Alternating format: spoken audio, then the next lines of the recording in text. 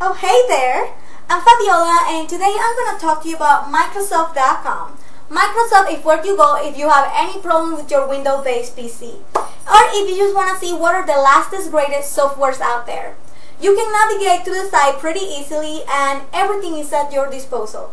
This website has a lot of information and so if you're trying to find something about a Microsoft product, this is the site where to go obviously.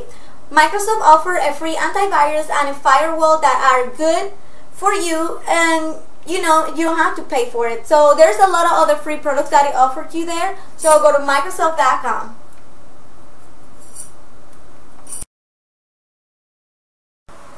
Hey there, it's Fabiola and there's this really awesome website called best-reviewer.com